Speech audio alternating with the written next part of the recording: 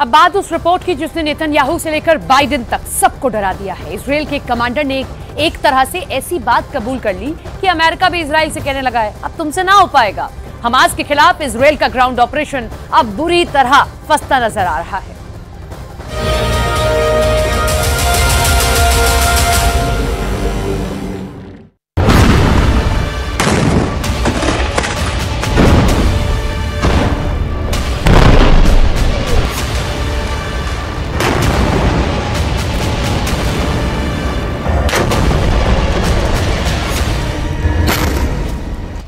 Gaza के अंदर युद्ध इस लेवल पर पहुँच चुका है कि अब जान हमास की जाएगी, या फिर इसराइल की सेना की, ये कोई नहीं जानता, लेकिन जान ज़रूर जाएगी।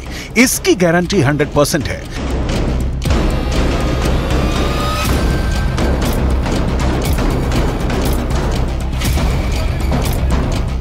ये गाजा में क्लोज क्वार्टर बैटल का वीडियो है। यानी कमरों में लड़ा जाने वाला बहुत करीबी युद्ध।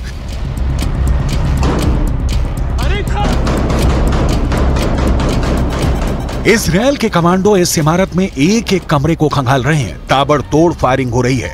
किसकी गोली किसे लगेगी? डर बहुत ज़्यादा है। ये गाजा के युद्ध की सबसे खतरनाक पिक्चर है।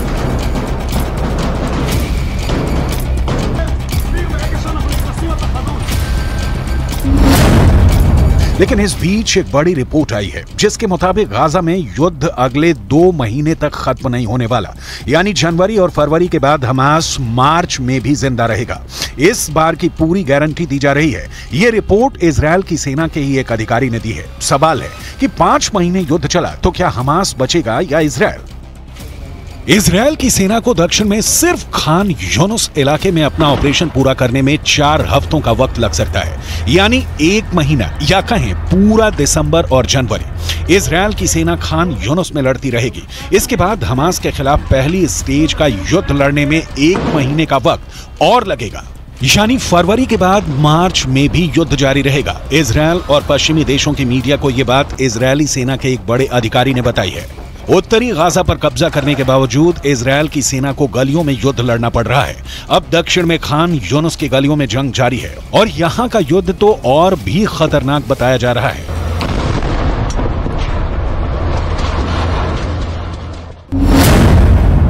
कुल मिलाकर समझिए कि 7 अक्टूबर को शुरू हुआ युद्ध अब भी जारी है।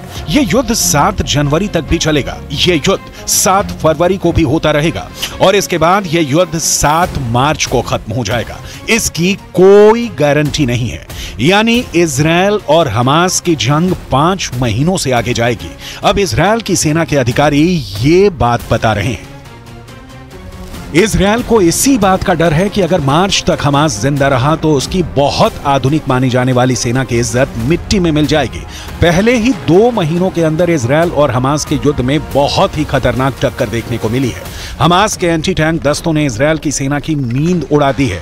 इसमें कोई शक नहीं, बंधकों को छुड़ाने वाले सीज फायर के बाद इसराइल हमास पर दस गुना तेज हमला करेगा। ये सब जानते थे। इसराइल ऐसी हर कोशिश करेगा जिसकी वजह से हमास के पास ना बचने का रास्ता हो, ना भागने का। लेकिन अब जो टक्कर देखने को मिल रही है, उसमें हमास के एंटी टैंक दस्तों ने गाजा के हर चौर, हर गलियों में इसराइल की सेना पर हमले तेज कर दिए हैं। इसराइल की सेना अपना टैंक किस गली में ले जाए और किसमें नहीं? और किस गली में जाकर उस पर हमला नहीं होगा? ये गारंटी कोई नहीं दे रहा।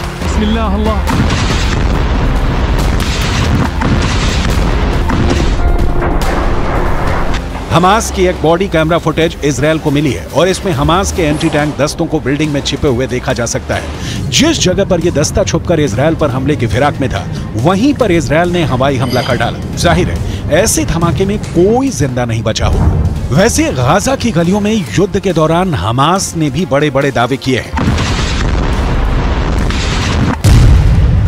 हमास का दावा है कि उसने इसराइल के 180 टैंक और बख्तरबंद गाड़ियों को हमले में फोड़ दिया है। गाजा से लगातार ऐसी तस्वीरें आई हैं, जिसमें इजरायली टैंक पर घात लगाकर हमले किए गए। इसराइल ने खुद माना है कि अब तक ग्राउंड ऑपरेशन में उसके 70 से ज़्यादा सैनिक मारे जा चुके हैं। ढाई से ज़्यादा सैनिक जख्मी हुए हैं। लिहाजा हमास के खिलाफ जो ताकत इसराइल को माना जाता है, उसके मुताबिक नतीजे तो इसराइल को भी नहीं मिले हैं। हालाँकि नेतन्याहू के सामने अपनी छवि को बनाए रखना बड़ा चैलेंज बन चुका है और गाजा पहुंचकर उनकी पहली कोशिश इसी तरफ़ नज़र आती है। अब जैसा युद्ध चल रहा है, उसे देखकर लगता है कि इसराइल को बाकी बंधकों को लेकर ज़्यादा फ़िक्र नहीं है। ऐसे में आगे की लड़ाई और भी खतरनाक होगी। अब इसराइल के ऊपर बंधकों वाला प्रेशर भी पहले के मुकाबले काफ़ी कम देखा जा रहा है। इसलिए इसराइल का पूरा फोकस अब हमास को खत्म करने पर है।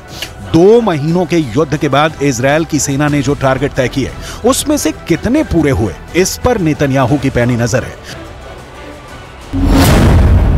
दो महीने के युद्ध के बाद इसराइल को क्या हासिल हुआ? गाजा पूरी तरह तबाह हो चुका है। अठारह हज़ार लोग इसराइल की बमबारी में मर चुके हैं, लेकिन इसराइल पर रॉकेट अब भी दागे जा रहे हैं। गाजा पर हमास का कंट्रोल बाकी है। हिजबुल्ला के साथ इसराइल का उत्तरी बॉर्डर यानी लेबनन का फ्रंट अब भी एक्टिव है। अमेरिका इसराइल की मदद कर रहा है, लेकिन सीधा इस युद्ध में शामिल नहीं होना चाहता, क्योंकि वो यूक्रेन में भी एक्टिव है। ईरान के समर्थन वाले मिलिशिया इस वक्त इसराइल और अमेरिका दोनों पर हमले कर रहे हैं और इन सबके बीच हमास अब भी ज़िंदा है। यानी जिसे इसराइल पूरी तरह से खत्म करना चाहता है, वो अब भी इसराइल से लड़ रहा है।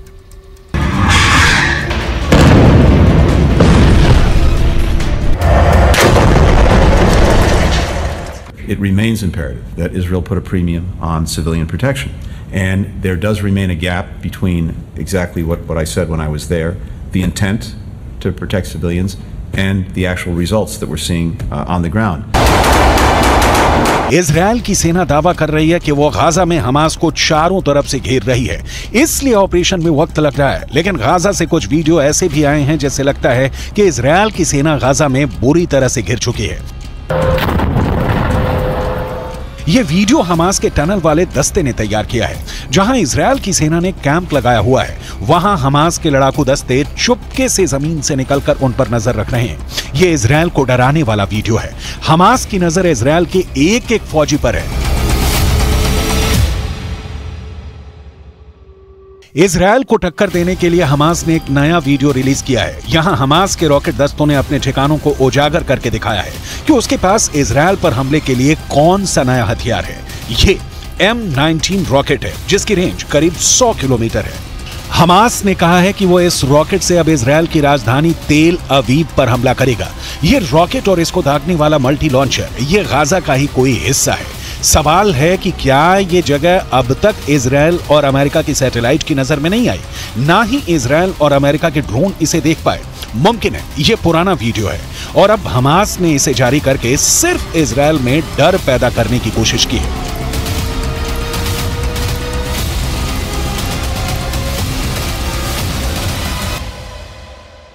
गाजा के अलावा इसराइल के लिए उत्तरी बॉर्डर बड़ा खतरा बन चुका है। ये लेबनान बॉर्डर पर इसराइल की बड़ी पोस्ट है और यहाँ हिजबुल्ला ने एक एंटी टैंक मिसाइल से हमला किया। और फिर देखिए क्या हुआ। पहले धमाका, फिर पोस्ट का बड़ा हिस्सा ढह जाता है और आग लग जाती है। हिजबुल्ला की तरफ़ से ऐसे खतरनाक हमले इसराइल की सेना लगातार झेल रही है। जब इसके बारे में नेतन्याहू से पूछा गया तो उनका जवाब भी गौर करने वाला है सैनिकों के बीच इस तरह के सवालों का जवाब कैसे देना है नेतन्याहू बहुत अच्छी तरह से जानते हैं כי אם אה, חיזבאללה יבחר ל- לפתוח במלחמה כוללת, אז הוא במו ידיו יהפוך את ביירות ואת דרום לבנון, לא רחוק מכאן, לעזה ולח'אן יונס. हिजबुल्ला हो हूथी हो या फिर हमास इसराइल के लिए खतरा साफ़ है और बहुत बड़ा है। हमास अगर मार्च तक ज़िंदा रहा तो ये युद्ध पलट सकता है। ये बात नेतन्याहू भी जानते हैं। उनके सामने दबाव बहुत ज़्यादा है कि युद्ध को जल्दी से जल्दी खत्म किया जाए। जल्दी से जल्दी बंधकों को छुड़ाया जाए और जल्दी से जल्दी हमास को खत्म करने का ऐलान किया जाए। अगर वो ऐसा नहीं कर पाए तो ना सिर्फ़ दुनिया में, बल्कि घरेलू मोर्चे पर भी उनकी बहुत ज़्यादा बेइज्जती हो जाएगी।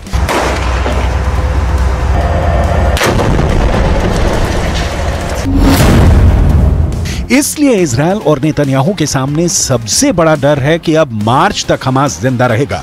ये बात इसराइल की सेना अपनी रिपोर्ट में कह रही है। हमास का गुनाह ही इतना बड़ा है कि इसराइल ने उसे पूरी तरह से खत्म करने की कसम खाई है। यही वजह है कि 7 अक्टूबर के बाद से गाजा में जिसने हाथ डाला है, उसने अपना हाथ जलाया है। गाजा जलता हुआ कुआँ बन चुका है। जो गिरेगा, खत्म हो जाएगा। क्योंकि इसराइल को जिसने भी अब तक रोकने की कोशिश की, उसको नेतन्याहू ने सिर्फ़ एक जवाब दिया। जब तक हमास खत्म नहीं हो जाता, तब तक युद्ध जारी रहेगा। बंधकों को छोड़ाने के लिए सीज फायर तो कर दिया गया, लेकिन एक बात साफ़ है। कि अब तक इसराइल के सामने सब फेल हो चुके हैं। इसराइल के आगे ईरान फेल हो चुका है। इसराइल के आगे हमास से लेकर हिजबुल्ला और यमन के हूथी भी नाकाम रहे हैं। इसराइल के सामने सऊदी अरब और बाकी अरब देशों की ज़ुबान पर ताला लगा है। अरब देश पूरी तरह फेल साबित हुए हैं। इसराइल के खिलाफ रूस भी फेल हो गया और इसराइल ने अमेरिका को भी बता दिया कि वो इसराइल से है। इसराइल उससे नहीं, यानी अमेरिका भी फेल है। नेतन्याहू अब कोई बात बर्दाश्त नहीं करेंगे। वो बैकफुट पर नहीं फ्रंट फुट पर तबाही मचाएँगे। उन्होंने अमेरिका को भी इस बात का एहसास दिला दिया है।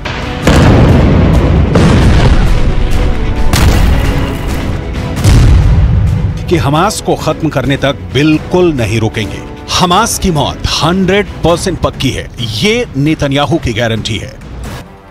उत्तरी गाजा के अस्पताल इजरायली बमबारी के सबूत बने। तो दक्षिण में खान यूनस के रिहायशी इलाके इस बमबारी के सबूत बन रहे हैं। यहाँ बम गिरा तो 10 लोग फ़ौरन मारे गए, कई घायल हो गए। तबाही की ऐसी तस्वीरें हर जगह दिखी। गाजा में बमबारी रोके, इसके लिए इसराइल पर दबाव डाला जा रहा है, लेकिन उसका असर शून्य है। इसराइल को अमेरिका से मिल रही मदद इसका सबसे बड़ा सबूत है जो फिर से सीज फायर की कोशिश के आगे दीवार बन चुका है अमेरिका ऐसी बमबारी रोकने के लिए संयुक्त राष्ट्र सुरक्षा परिषद में आए प्रस्ताव के खिलाफ वीटो कर चुका है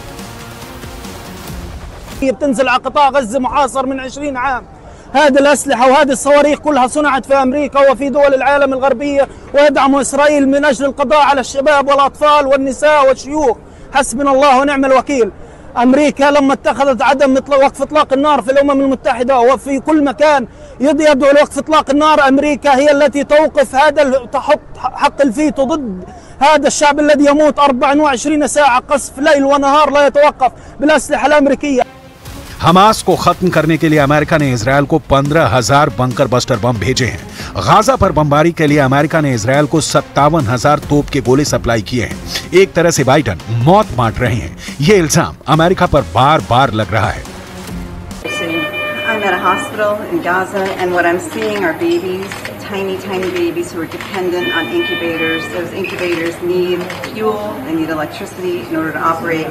They're keeping these babies alive, and they need to keep it up.